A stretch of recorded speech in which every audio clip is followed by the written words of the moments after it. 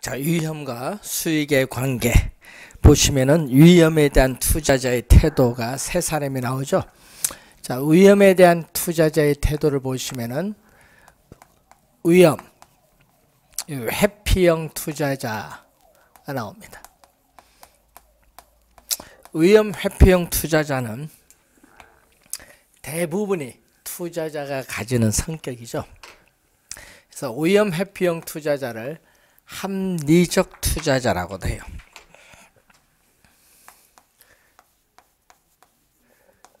위험 회피적 투자자를 합리적 투자자. 자, 그러면은 이 위험 회피형 투자자의 행위가 있어요. 자, 위험 회피형 투자자의 행위를 보면은 자, 예를 들어서 뭐 상가 아파트 뭐 두 개가 있다. 자, 상가 아파트 두 개의 투자 대안이 있을 경우에 두 투자 대안에 기대 수익률이 동일하다. 자, 두 투자 대안에 기대 수익률이 동일할 경우에 투자자는 위험이 낮은 것을 선택을 하고 자, 위험이 동일하다. 위험이 동일할 때는 우리가 기대 수익률이 높은 것을 선택을 한다는 그러한 내용이죠. 자, 이게 바로 위험 회피형 투자자, 합리적 투자자 행위고 자, 그러면 위험 중립형은 자, 위험 중립형 투자자는 위험. 자, 이 위험이 위험이 높든 낮든 위험에 관계없이 뭐만 본다? 기대 수익률만 보면서 투자하는 사람.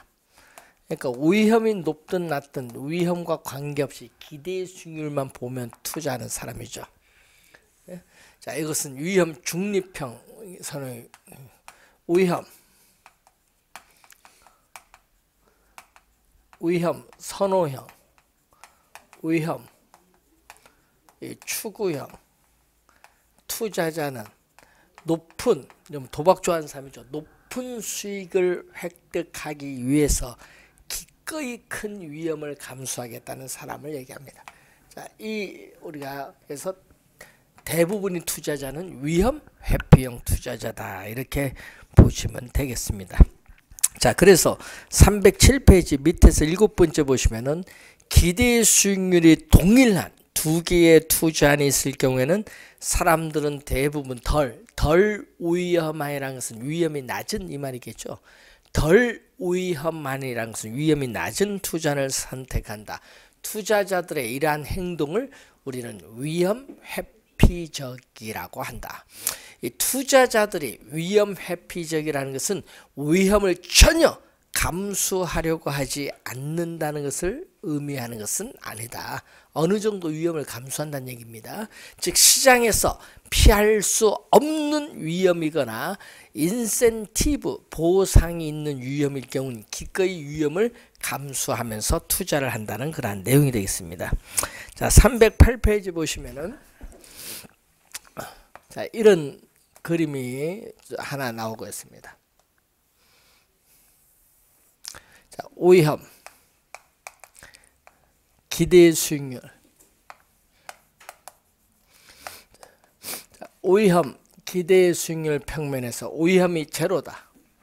자, 오염 기대 수익률 평면에서 오염이 제로일 때 뭐 얻을 수 있는 수익률이 2%다. 자, 이 2%가 위험이 제로일 때 얻을 수 있는 수익률, 무위험 자산의 수익률. 자, 무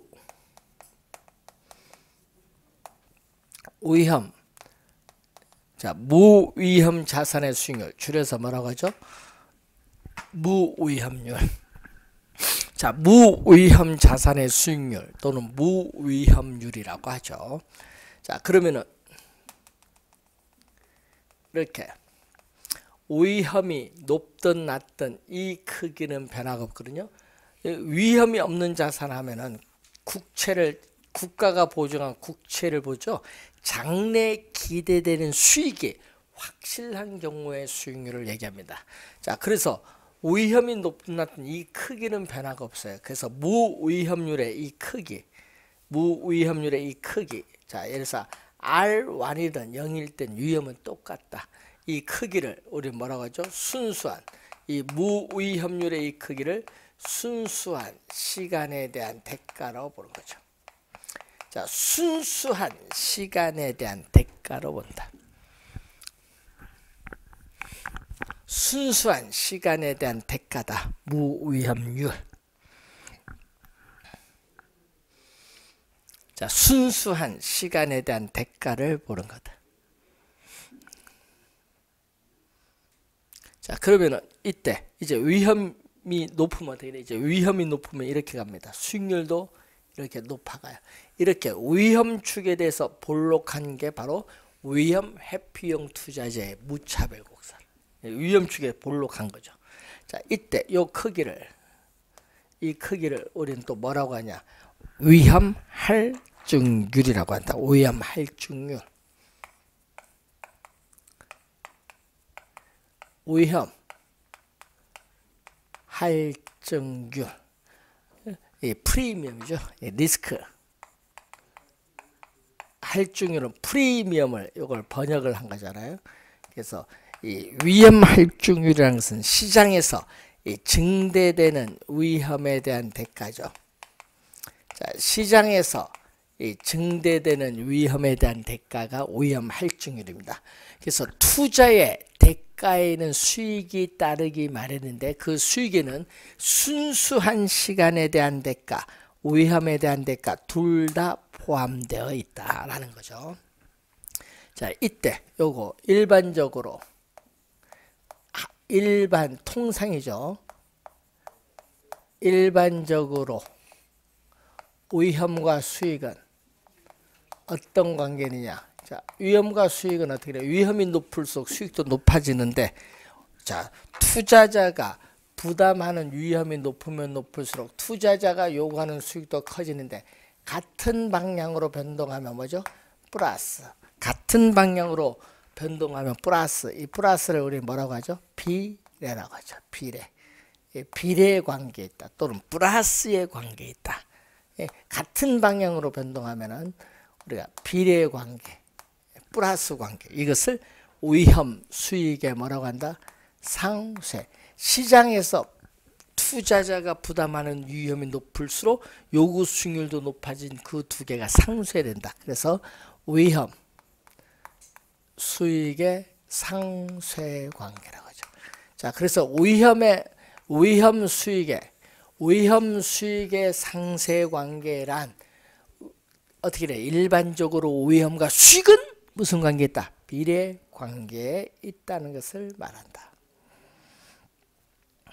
자, 이것을 이제 여러분이 기본적으로 이해를 이걸 해 두셔야 됩니다. 자, 무위험률 요 2%는 1.7%될 수도 있고 2.1%될 수도 있거든요. 국채는 어떻게 돼요? 수익률은 일반 경제 상황에 따라 변할 수 있다. 무위험률의 크기는 일반 경제 상황과 밀접한 관련이 있고 위험과는 아무런 관계가 없다. 예? 예? 위험과는 아무런 관계 없고 일반 경제 상황과 밀접한 관계가 있다는 것.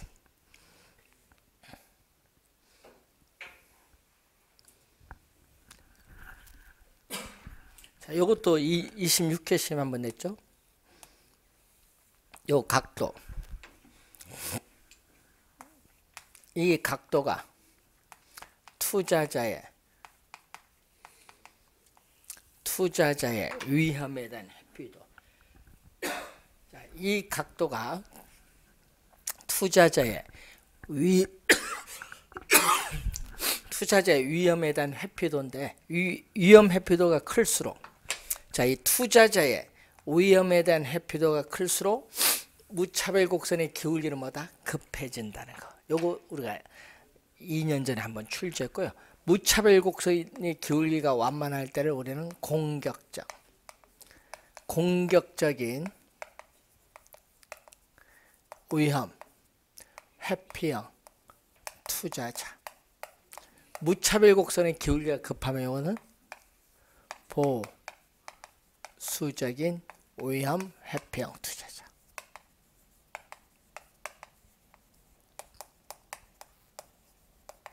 자 그러면은 동일한 유형에서 공격적 투자자는 이만큼 수익을 요구하지만 보수적 투자자는 동일한 유형에서 어떻게 더 많은 수익을 요구한다는 것을 이 그림을 통해서 우선 또 여러분은 확인을 할 수가 있다. 자, 그래서 이 무위험률, 위험을 전혀 수반하지 않을 경우에 얻을 수 있는 무위험률이 2%인데 만약에 시장에서 증대되는 위험에 대한 대가인 할증률이 3%다. 할증률이 3% 더해주면 얼마를 요구하겠다? 무위험률에다가 위험 할증률을 가산한 요구 수익률 몇 프로? 5% 요구하겠죠.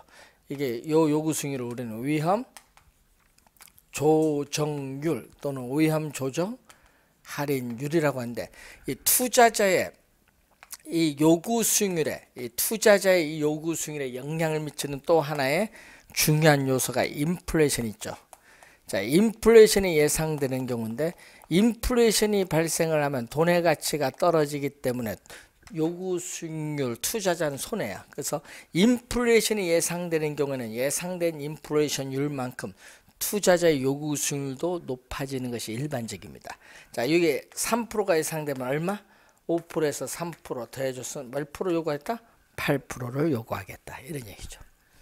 자, 이것을 이제 여러분이 수식으로 한번 확인해 보시면 되겠고, 무위험률이 높으면 요구 수익률도 높아지고, 예, 위험에 대한 대가인 할증률이 높아지면 요구 수익률도 높아지고, 또 예상 인플레이션이 높아지면 또 요구 수익률도 높아진다는 것을 그 이 수식을 통해서 이해를 하시면 되겠습니다. 자, 309페이지 위험과 가치 균형. 자, 부동산의 투자 가치라는 것은 부동산 소유에서 비롯되는 장래에 기대되는 수익을 현재의 가치로 환원한 값을 의미하겠죠. 그래서 투자 가치는 부동산 소유에서 비롯되는 장래 기대되는 수익을 현재의 가치로 환원한 값인데 이때 할인율로서 뭐를 사용한다? 요구 수익률을 사용한다는 거죠.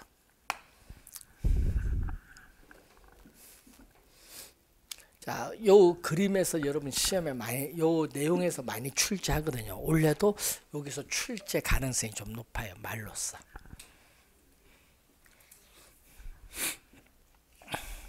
자, 310페이지 보시면은 수익과 위험의 측정. 자, 거기 보시면은 수익과 위험의 측정인데 위에서 두 번째 일반적으로 수익성을 나타내는 지표로는 소득의 기대치를 위험을 나타내는 지표로는 표준 편차를 사용을 하고 있는데 자, 수익의 측정을 한번 보시면은 자, 수익의 측정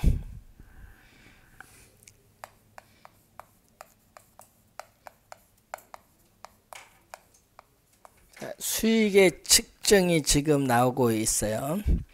자, 그러면 수익의 측정을 보면은 거기에 얼마? 자, 순영업소득. 자, 수익의 측정은 순영업소득은 순수익입니다. 자, 순영업소득의 기대치. 순영업소득, 순수익의 기대치. 기대치는 평균값. 순영업소득의 이 기대치로 추계되는 이 기대 수익률로 측정하는 것이 일반적.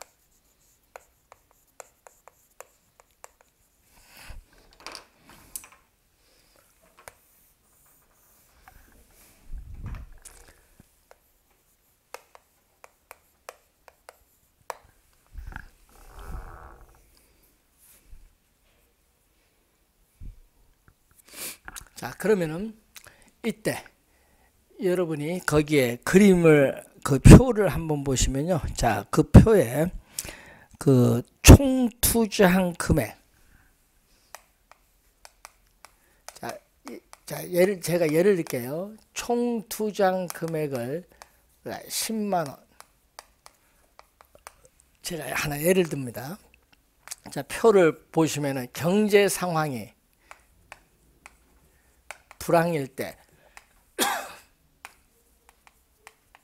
정상일 때 황일 때 자, 불황일 때 순 영업 소득 9천 원 만 원, 만천 원. 자, 이렇게 우선 예를 들어 보겠습니다.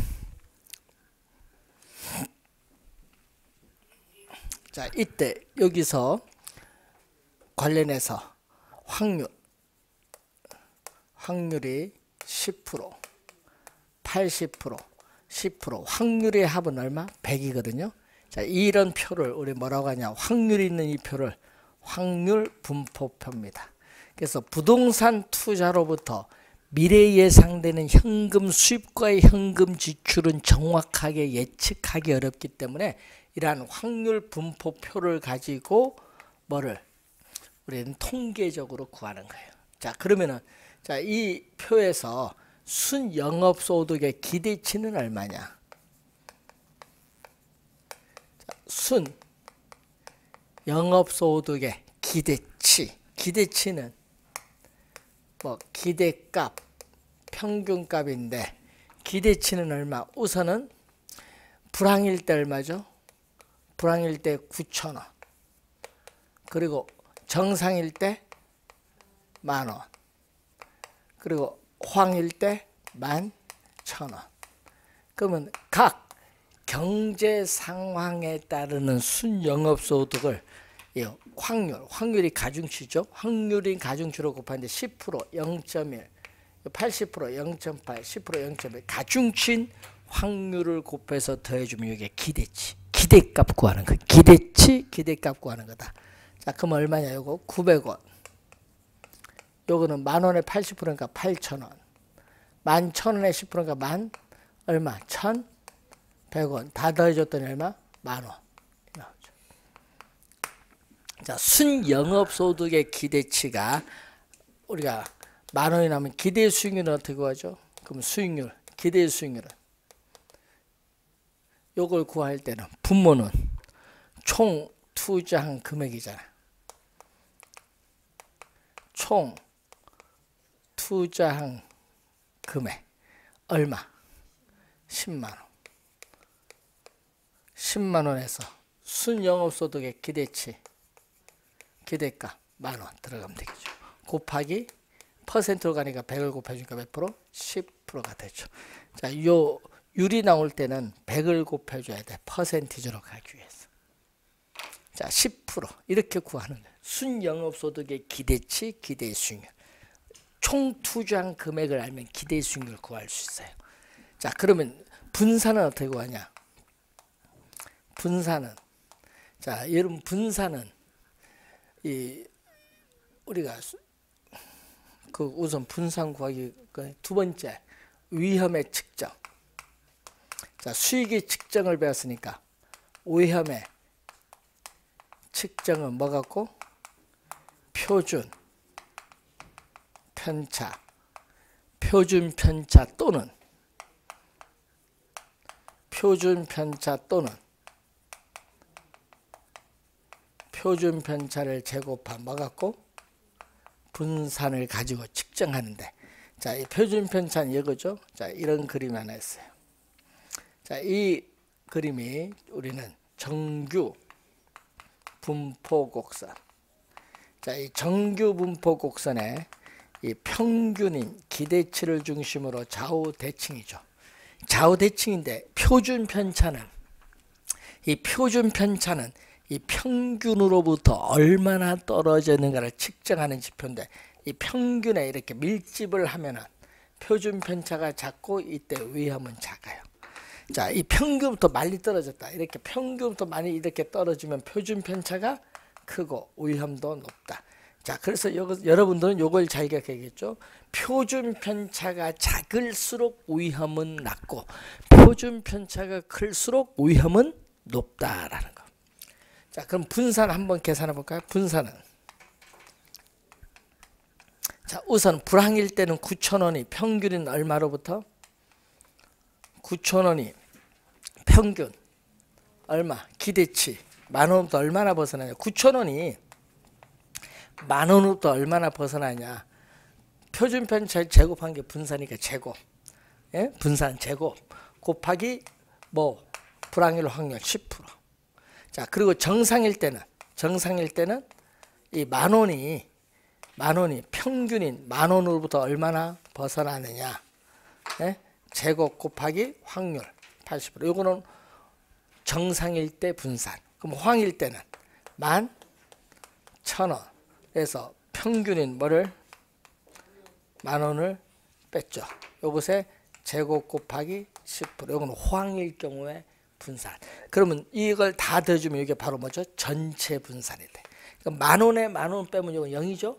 계산할 필요 없죠. 그러면 9천 원에서 만 원을 빼면 얼마? 천 원이야, 천. 마이너스 제곱은 플러스니까 관련 없고 천 원에 제곱 곱하기 0.1. 요것도 천 원에 제곱 곱하기 0.1 두 개가 있어요. 응? 그래서 천 원. 제곱 곱하기 0.2. 천 원, 100만 원이거든요. 100만 원에 0.2니까 얼마? 20만 원이 되겠죠. 그럼 표준 편차는 표준 편차는 요걸 쓰는 거지. 20만 원. 분산의 양의 제곱권 이렇게 나오는 거지. 분산 양의 제곱권.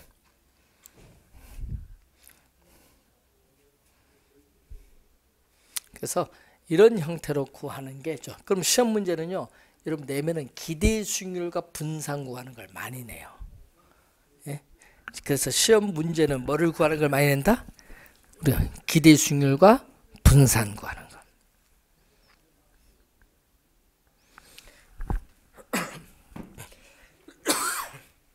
자, 311페이지에 변이계수란 용어는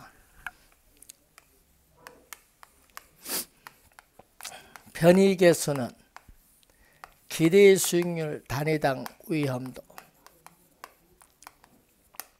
자, 기대 수익률 이 단위당 위험도를 나타내는 게 이 변이계수. 자, 그러면 이 기대 수익률 기대 수익률 1%장 위험, 위험을 측정하는 것은 뭐죠? 표준 편차죠. 그럼 기대 수익률 단위당 뭘수록 낮을수록 유리하거든요. 그래서 변이계 수익값이 작을수록 유리하다. 그 얘기죠. 변이계 수익값이 작을수록 유리하다. 자, 예를 들어서 우리가 상가, 아파트,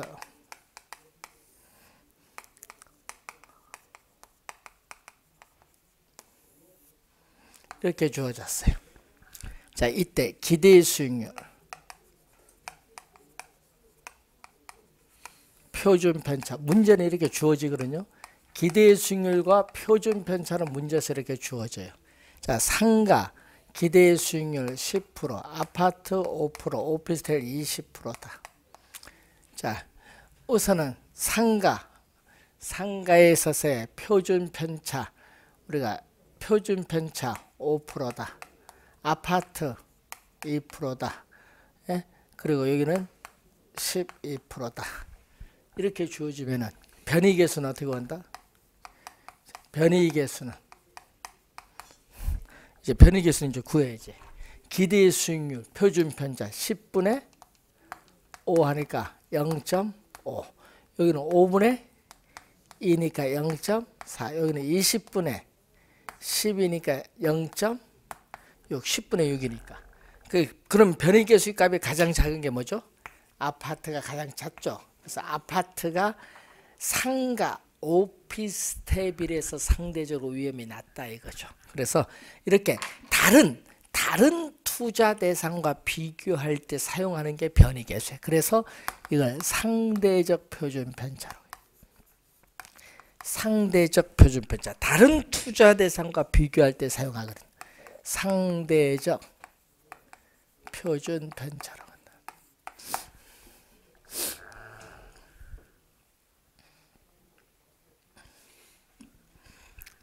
자, 이렇게 구하는 거죠. 그럼 역수가 있거든, 또. 역수. 변이 계수의 역수는 위험. 역수로 가면 되니까 위험 한 단위당 기대 수익률. 역수는 위험 한 단위당 기대 수익률로서 위험은 표준 편차. 표준 편차에 대한 기대 수익률. 반대로 변이계 수익값은 낮을 작을수록 유리하지만은 요거는 위험한다는 기대 수익 높을수록 유리. 역수니까. 자, 이것을 이제 여러분이 확인해 두시면 되는 내용이 되겠습니다.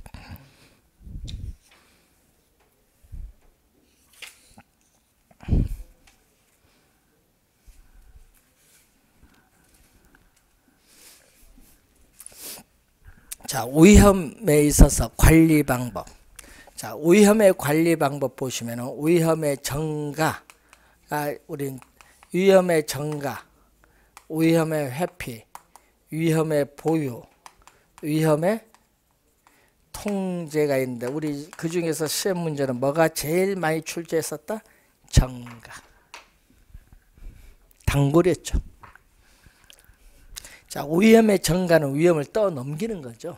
자, 여러분 잠재적 손실의 가능성을 제3자에게 떠넘기는 거예요.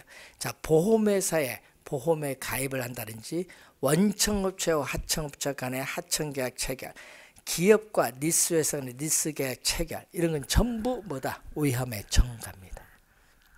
자, 위험의 회피는 손실의 가능성을 피하는 방법을 얘기하죠. 위험의 회피. 투자의 부적격 자산을 뭐 제외한다. 투자의 부적격 자산을 제외한다. 뭐 이런 건 위험의 회피죠. 위험의 보유는 위험에 따르는 장래 미래의 손실을 자기 스스로 부담을 하는 방법을 위험의 보유인데 그래서 외부적 우리가 감가상각 요인을 감가 감안하여 충당금을 설정하는 방법을 우리는 위험의 보유. 위험의 통제는 손실 발생 횟수 몇 번이냐 규모를 조절하는 방법인데 대표적으로 여러분이 이제 배우시게 될 민감도 분석 그리고 포트폴리오 분산 투자 이제 배우게 될 용어거든요.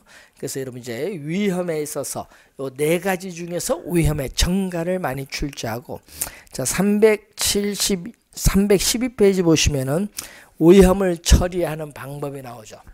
자 위험을 처리하는 방법 보면은 우선은 위험한 투자를 제외시키는 방법. 자, 위험한 투자를 제외시키는 방법은 뭐예요? 이거는 위험에 뭐에 속한다? 회피에 속하겠지. 투자 원금을 잃지 않으려고 국가가 보증한 국채나 예금자 보호 대상인 정기예금 이 안전한 곳에만 투자를 하는 것을 말하죠. 그래서 수익률이 그래서 가장 낮기 때문에 바람직한 투자로는 얘기 못하죠. 또 보수적 예측 방법이 있습니다. 자, 보수적 예측 방법이라는 것은 자, 부동산 투자로부터 장래에 발생하는 기대 수익을 기대 수익을 가능한 한 가능한 한 가장 낮게 가능한 한 가장 낮게 예측을 하고 가장 낮게 예측한 그걸 기준으로 투자 결정을 하는 것은 뭐죠? 보수적 예측에 의한 투자 방법입니다. 자, 그리고 위험 조정 할인율을 사용하는 거죠.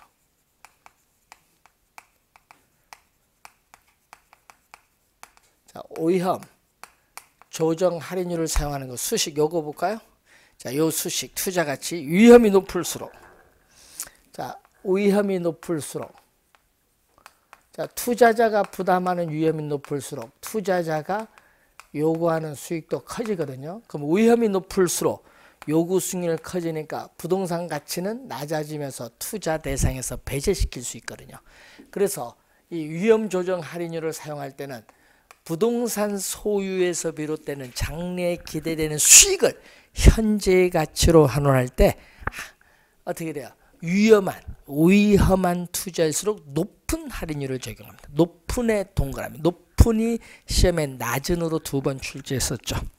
이때 높은 할인율 할 때 할인율은 요구 수익률을 말합니다. 자, 그리고 민감도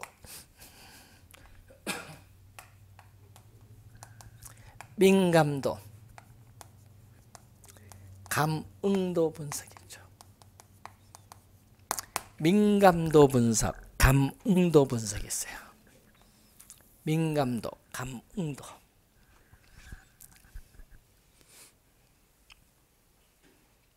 자, 투입 요소.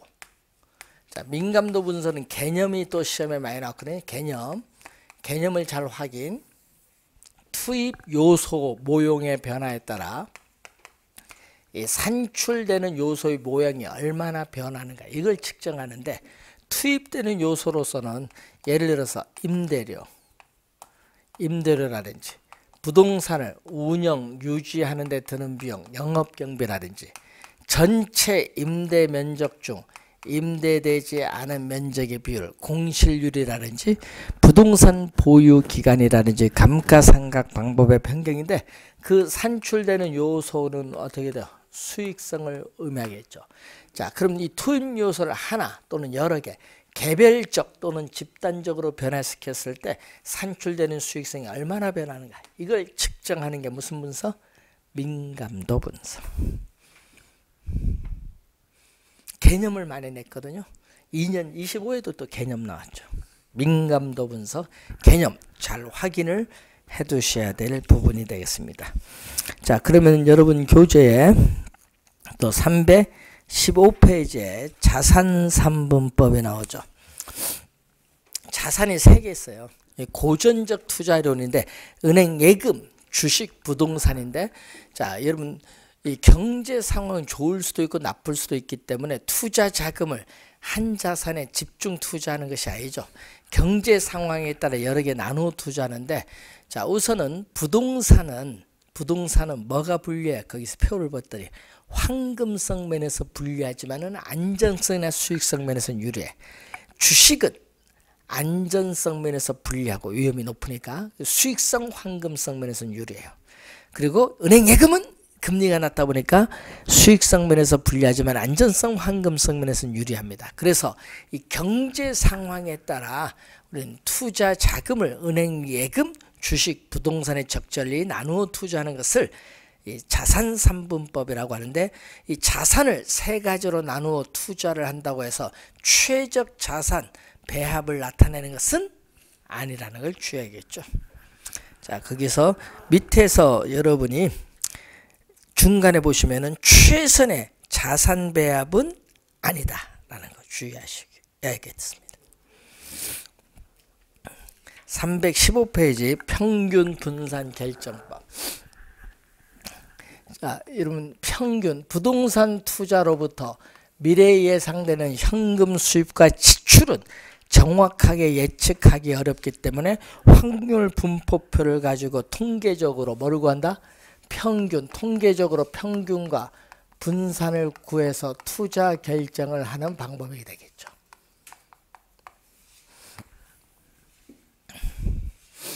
평균은 수익과 관련이 있고 분산은 뭐와 관련이 있다? 위험과 관련이 자, 그러면 이 평균 분산의 지배의 원리를 보면은 자, 평균 분산의 지배의 원리를 보면은 자또 뭐 A, B 두 투자는 있다. 자 A, B 두 투자 대안이 있다. 자 A, B 두 투자 대안이 있을 경우에 기대 수익률이 동일하다. A, B 두 투자 대안에서의 기대 수익률이 동일할 때는 위험이 낮은 투자를 선택하고 위험이 동일할 때는 기대 수익률이 높은 투자를 선택한다. 이것을 우리는 평균 분산의 지배 원리다.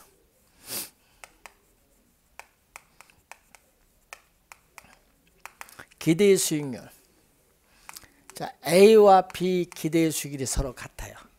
기대 수익률이 같은데 위험을 측정하는 게 바로 표준 편차죠. 표준 편차가 작을수록 위험은 낮고 표준 편차가 클수록 위험은 높아요. 그럼 표준 편차인데 A, B를 비교했는데 표준 편차는 어떻게 돼? 이렇게 기대 수익률이 동일할 때 표준 편차가 A가 B보다 작으면은 표준 편차가 작은 A 투자안을 선택을 해요.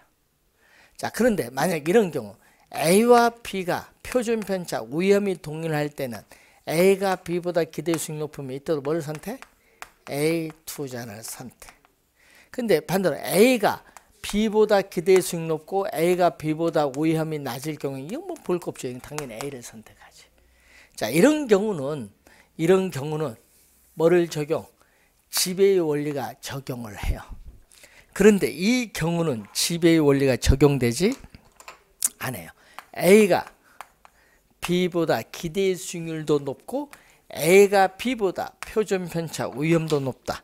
자, A가 B보다 기대 수익률 높고 이렇게 표준 편차 크다. 이 경우에는 지배의 원리를 적용할 수 없다. 지배의 원리를 적용할 수 없는 이 경우를 우리는 뭐라고 하죠? 평균 평균 분산법의 오류다. 자, 이 경우를 평균 분산법의 오류라고 해. 평균 분산법의 오류. 자, 이 경우는 투자자, 투자자의 위험에 대한 태도에 따라 A를 선택할 수도 있고 B를 선택할 수도 있습니다. 자, 그 내용이 이제 여러분 나와 있는 내용이 되겠죠. 자, 여러분 이 316페이지 밑에서 다섯 번째, 두 개의 대안 중 어느 것을 선택하느냐는 위험에 대한 투자자의 태도에 따라 달라진다. 이런 얘기고.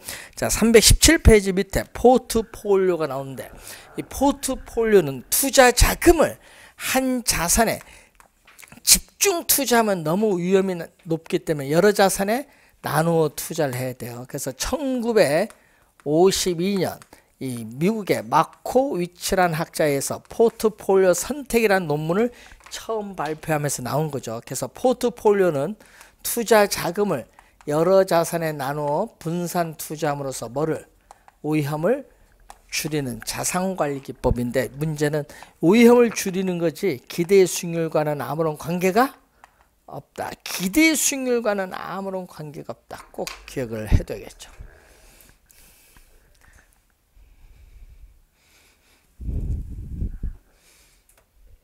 자, 그러면 시험에 우리가 시험에 매년 나오는 게 있어요. 이거 몰라도 나올 텐데 잘 공부해야 돼. 매년 나오는 거.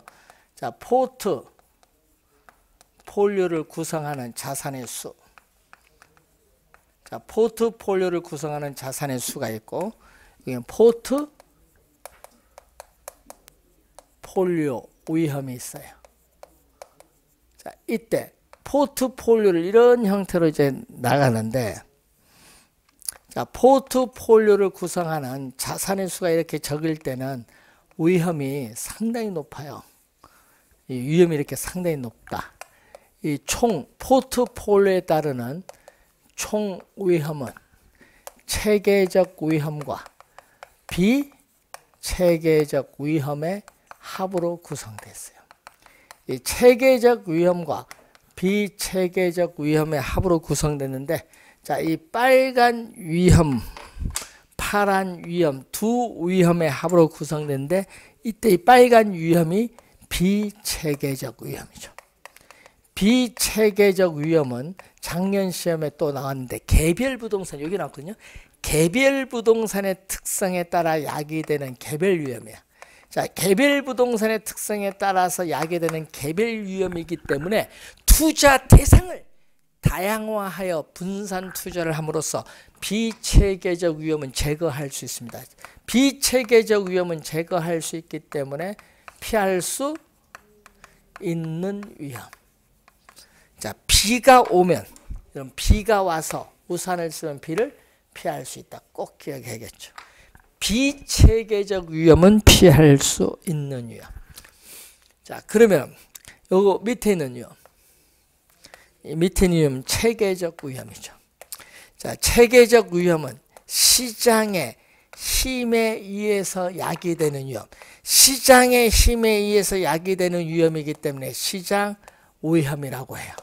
자, 그래서 어떻게 돼요?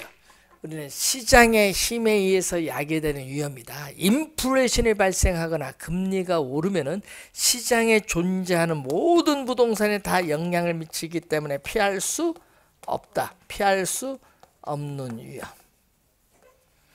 피할 수 없는 위험. 요거 꼭 기억을 해야 됩니다. 자, 그리고 포트폴리오를 구성하는 자산의 수가 많을수록 통계적으로 비체계적 위험은 점점 줄어들죠. 여기까지는 뭐는 계속 남아 있어요. 요거. 체계적 위험은 계속 변화가 없는데 비체계적 위험이 줄어들어요. 그래서 체계적 위험은 포트폴리오를 구성을 하여도 제거를 할 수 없는 위험이지만 비체계적 위험은 포트폴리오를 구성하는 자산의 수가 많을수록 0까지 줄일 수 있다. 이 내용 시험에 많이 출제하거든요.